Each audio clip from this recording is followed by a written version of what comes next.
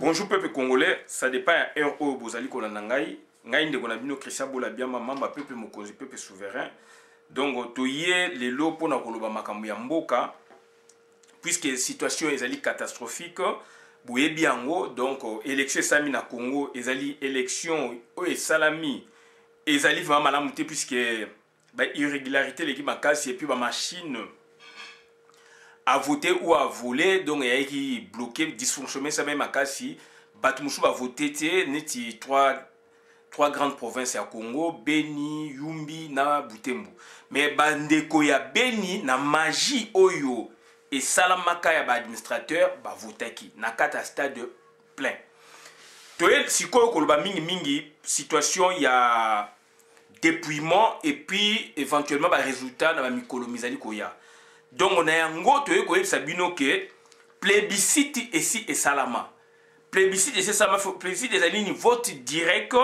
du corps électoral par oui ou par non sur une question qu'on lui soumet donc elingi oloba nini pendant la campagne masolo nyonso esi emonanaki bandeko na ngai congo oyo ya biso afrique oyo ya biso ezali appelé à devenir des états ou un continent aussi où il y a la démocratie e ntango yo olingi koassoir kovandisa démocratie te bato oyo bayaka na démocratie na congo à l'occidental bakovandisa yango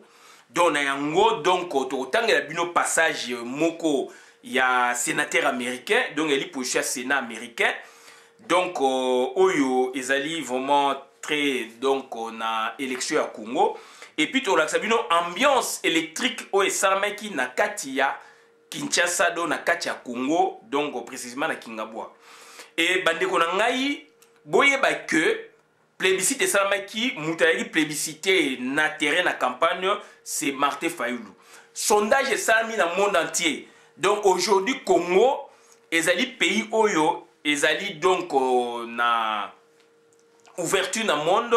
ezali pays oyo ezali compte parmi ba grande puissance ezali compte par na, na ba grande puissance bazali ko compte na Congo pour na développement économique social etc bien que bango mpe bakolia donc yango toyebisa bino donc euh, deux états-unis qui s'affrontent na congo et lelo hippolyte kanambe awumbi awumbi akimi akimi akimi ye moko akoti na kati ya piège na ye a organiser ba election oyo esami na niveau wana mais ba américain déjà basi ba tranche toyebisaki bino ke martin fayulu akoti na ba circuit nyonso ya monde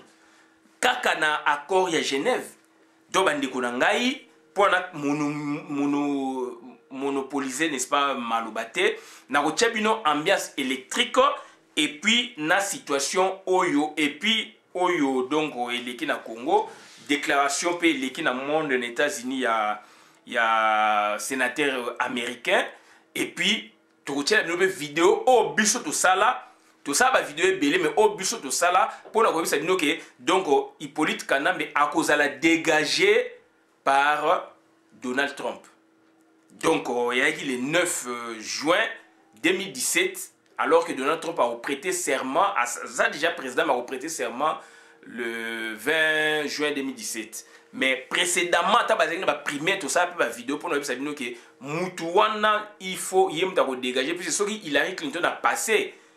donc mboka na biso ezala dpc donc bavideo wana tokoluka yango malembe malembe mais du moins totyela bino ambiance électrique oyo elekaki na congo ya ngai na yo ndeko donc tozali kozonga na egypte tozali kozonga na mboka na biso bolanda ambiance oyo elekaki na congo donc en live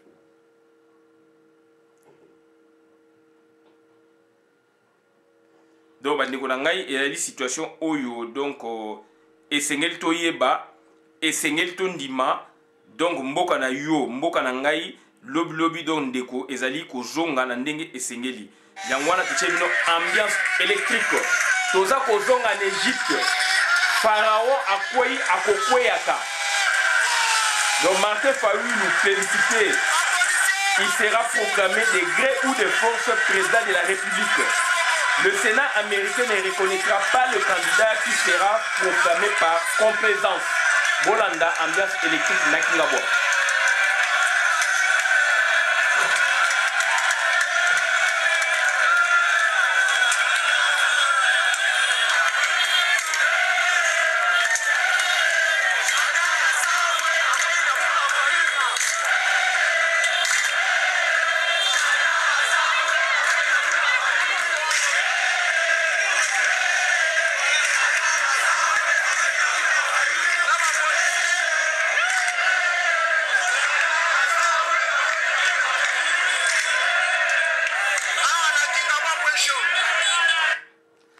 donc na kingabwa kingabwa point show bolandi yango boyoki masolo ndenge elekaki na kingabwa bandeko na ngai tozali kozonga na egypte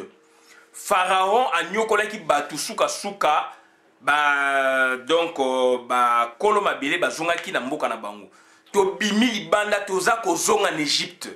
ndeko na ye natunaki yo ososombi bapantalon ososombi baveste ba Eske osi omibongami? Billet ezali pembeni ndeko, tozali kozonga na Egypte. Tozali kozonga na Egypte puisque president ya sika azali koya Martin Fayulu degré ou de force il sera installé. Toza kolakisa bino message ya États-Unis d'Amérique donc euh, degré ou de force Martin Fayulu sera donc euh, installé président de la République. puisque masolo esi ebelemaki tokoki koechappe na règle wana te ezali règle moko mondiale ntango propagande esalami campagne esalami na terrain baestimation déjà ebimaka basondage ebimaka donc donnant déjà telle personne euh, tel candidat vainqueur ou pas donc ese emonanaki tricherie moko bakoya na yango wana ezali te donc rapport de force tolukaki emonani donc tokotangela bino maloba oyo ya senateur américain ebimi yango wana donc tolingi totangela bino yango donc mpo euh, tolakisa bino ke donc euh, eloko moko ya buzoba ekozala te oyo ezali senateur américain moto aza koloba donc batindeli biso yango Le rapport de force entre candidats à l'élection présidentielle est visible à travers leurs manifestations publiques.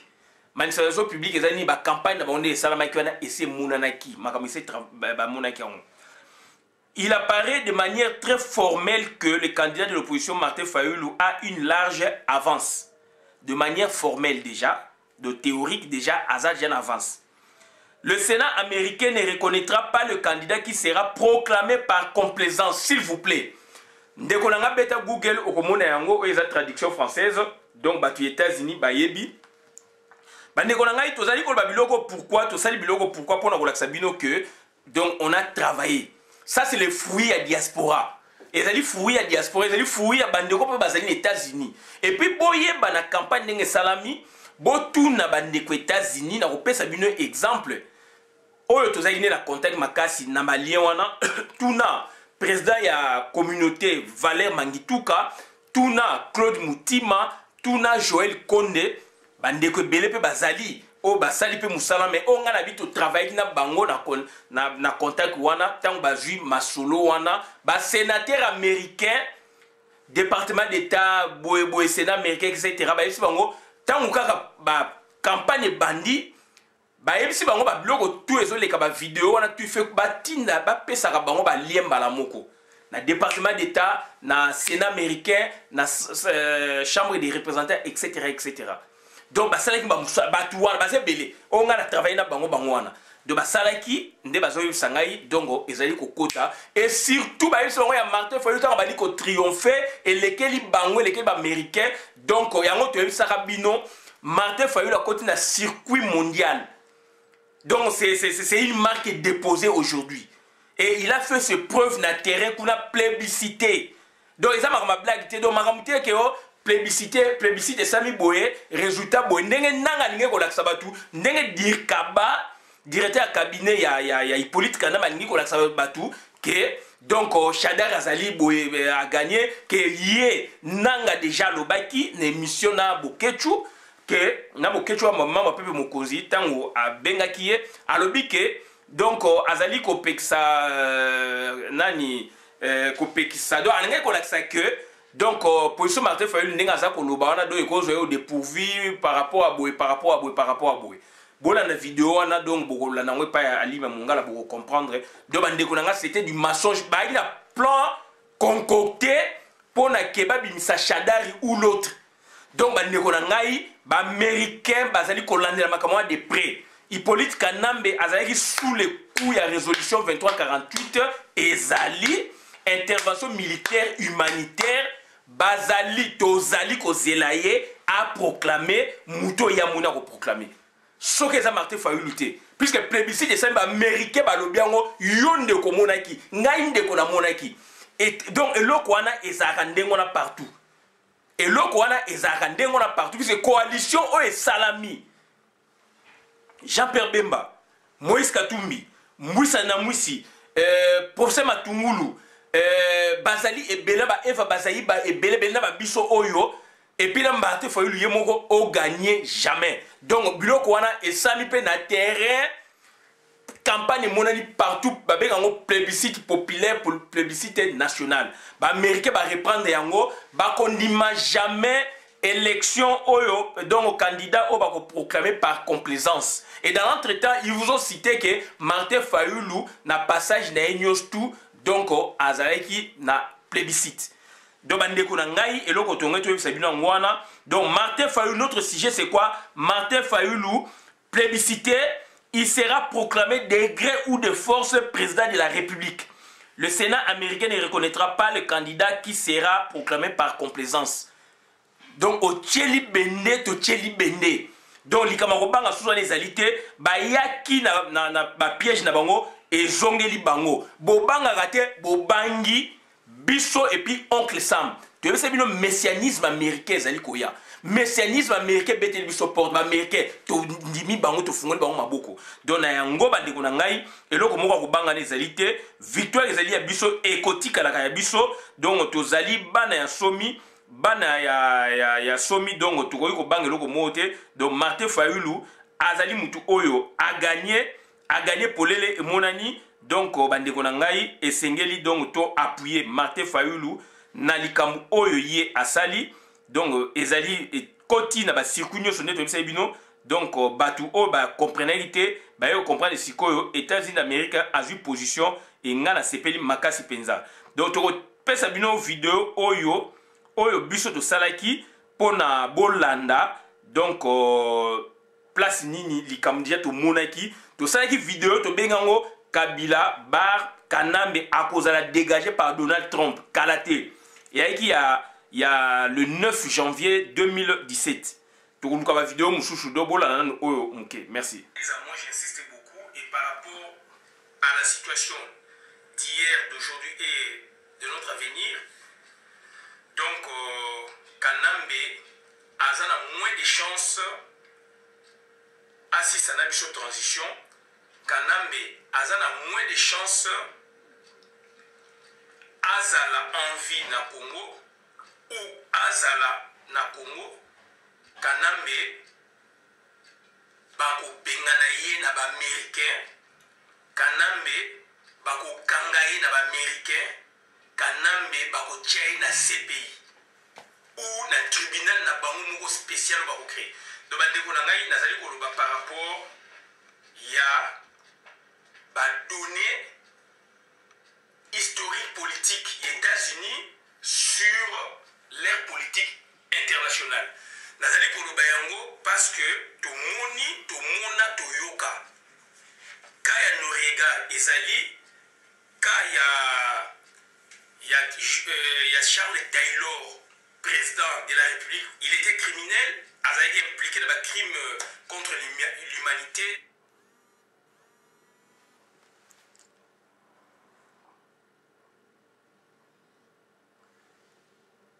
Na nazo benga yo nazo benga naza en direct na emission nazo benga yo nao rappelle yo.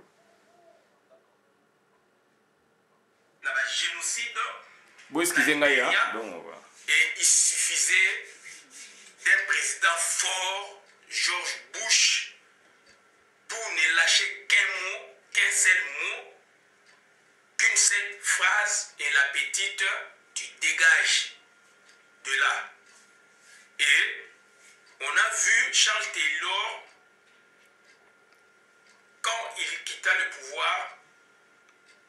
il remercia même le président Bush Junior, président américain.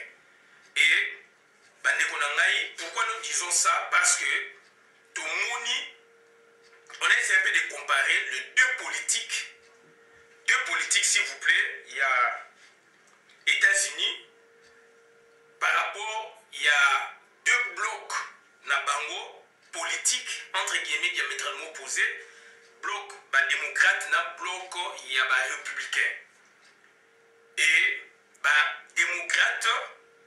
bazali na politique oyo bango bazalaka na yango et Tomoni le dernier president en date ya Etats-Unis, Barack Obama, azali na doctrine oyo ya ye, tolobi lobi yango mingi, doctrine yango babengi yango nini? Le multilateralisme. Multilateralisme, c'est la grande diplomatie. Il faut toujours ko solola, ko convaincre, ko convaincre une personne, deux personnes, trois personnes, trois pays, quatre pays, ko solola, ko solola, raison pour laquelle bo moni ils ont tire en longueur situation ya Congo grace ou à cause ya doctrine diplomatique ya Barack Obama ezali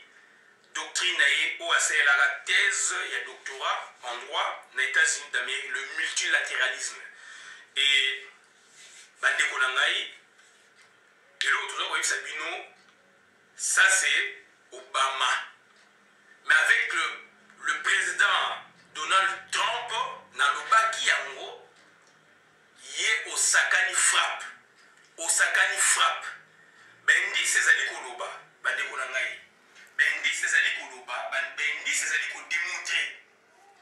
Kanambe olukaki makambo, osuki, okosuka. Soki lelo oyo ba congolais, soki lelo classe politique congo, congolaise, Donc, rassemblement, ba ndeko peuple oyo pe apesi makambo confiance. tolingaki toyebisa bino yango wana. Ezali ba video tozali kosala ba ndeko na ngai, ezali ba ba matière transversale ba video tozali kosala ezali mpona ba vue te ba video tozali kosala puisque totie bomoto totie bolingo totie congo liboso et nous réfléchissons vraiment ezali ba monographie ngai naza journaliste te donc ezali ba monographie ce sont des petites études sur des cas donnés et tokende yango vraiment en profondeur donc bandeko na ngai ezali mpona kosala yango c'est l'amour ça nous prend du temps ya réflexion ezali facile te donc euh, tolobaki déjà le 9 janvier 2017 azali déjà élu maintenant nakoti na bokonzi te mais déjà précédemment il y a des vidéos osi tolobaki bato ba vote ba congolais ba vote ye soki hilari apasse mboka na biso ekatani mike mike bavideo balandi bato balandaka nga bayebi nakoluka yango nakobimisa yango lisusu oyo tosala yango le 9 janvier 2017 le 20 janvier azwi bokonzi et aussitôt azwi bokonzi 33 euh, mois après assigne accord militaire na euh, angola na, na 2017 na septembre ainitie résolution Euh, donc 2348 euh, ya nations unies ya conseil de nation, euh, ya sécurité ya nations unies intervention militaire humanitaire na congo oyo sadek aza nango donc angola aza nango oyo hippolyte kanambe akimikimikimi yango sombele suka bisanga bayebisi ye élection na 2018 andimi ye mo atie date le 23 ye stratégique tosala mpe video tolobi ke ye kanambe aza kovise après donald trump To alertaki mpe totindaki mpe mikanda na Maison Blanche, na Departement d'Etat, on travaille comme ça. Na bandeko mpe baza na Etats-Unis. Sikoyo ye aye ko prolonger awa une semaine donc a respecter 2018 élection esalami mais asali yango na lolenge oyo asali wana e, etombe na piège na ye moko donc états-unis mpe apesi déjà position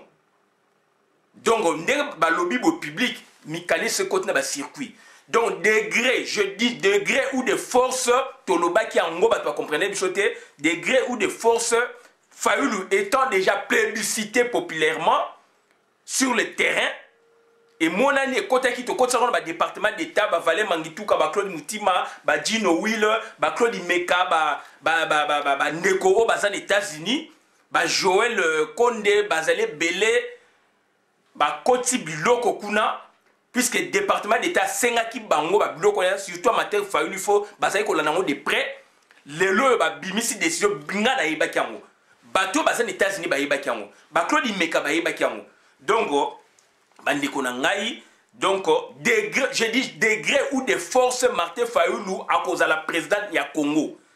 soki hippolyte kanambe asali buzo baya kosala bakobengana ye na masasi bakobengana président na ye wana na masasi donc oyo toyaki koyebisa bino yango wana bolanda video malamu bokaba wana konta communauté merci ngai christian bola biama mama pepe mokonzi pepe souverain tolobi merci bolanda video malamu bokabola yango tozali kozonga na egypte Congo ezali Egypte. Pharaon akweyi. Akweyi na politique na ye na regime na ye. Puisqu'il y a un rapport de force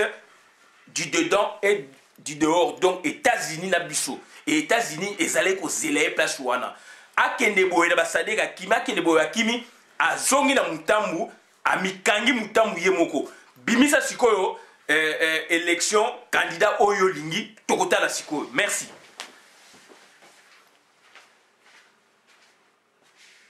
politique ezali rapport de force leader il faut rapport de force rapport mystique osakani batindelo foudre osakani batindelo bamissile masolo esili merci